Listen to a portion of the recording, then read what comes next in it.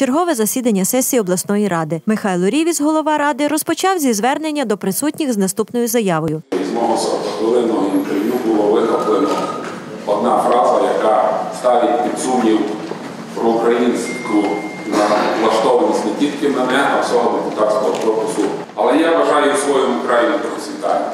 І тому я буду піднімати на всіх рівнях питання рівного фінансування Закарпатської області з усіма областями. Я вважаю недопустимим те, що фінансування області у декілька десятків разів від'ємне порівняно із нашими сусідами.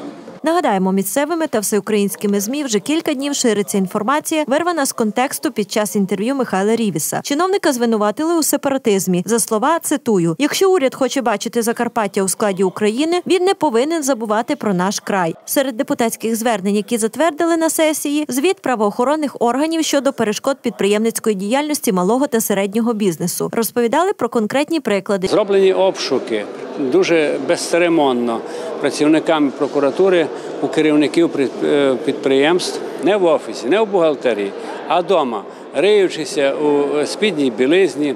Е, нічого звичайно, що нічого не знайшли. Мотивують все це тим, що є буцімто дві або три одинакові під однаковими номерами накладні. Далі депутати приступили до порядку денного. Внесли зміни до програм забезпечення медикаментами ветеранів війни, цукровий та нецукровий діабет, програми охорони навколишнього середовища. Одне з питань, що викликало хвилю обговорень, призначення на посаду директора обласного краєзнавчого музею імені Легоцького. Якщо рахувати питання щодо поступлень, хай керівник управління культури скаже, який ще заклад за 8 місяців роботи цього року вніс у спецфонд заробив 2,3 мільйона гривень. Заробляючи щороку 2,2 мільйони, скажіть мені, будь ласка, що було в який проект вкладено і проєктну кошторисну документацію розроблено. На даний час нічого не подано. Ніяких ініціатив немає. У мене є пропозиція повернутися до розгляду цього питання і ще раз затвердити людину, хай вона працює. Після повторного голосування рішення знову ж таки не проходить. А призначали депутати на посаду директора, що працював не один рік, і по сьогодні Василя Шебу. Він пройшов конкурс на посаду. Однак, вже друге засідання сесії питання не проголосували. Так само безрезультатно голосували про погодження звернення Державної служби геології та надр щодо продажу на аукціоні дозволу на користування надрами. Питання стосується Виноградівського району, тобто Горбківського родовища, який знаходиться на території Виноградівщини.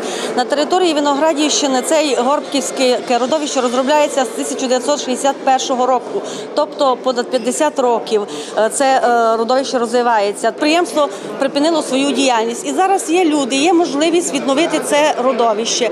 Е, це дасть змогу відновити робочі місця на підприємстві. Фактично, ми відмовили, не надали дозвіл, але рішення буде прийнято в користь надр геології. Цікаво, що питання, яке винесла на розгляд депутатів пані Наталія, не підтримали і її колеги по партії. На завершення депутати проголосували за депутатські запити, які стосувалися в основному будівництва спортивних майданчиків, ремонту автодоріг, соцзакладів, а також затвердили програму співробітництва між Закарпатською областю Україна та округом Верхня Франконія Німеччина.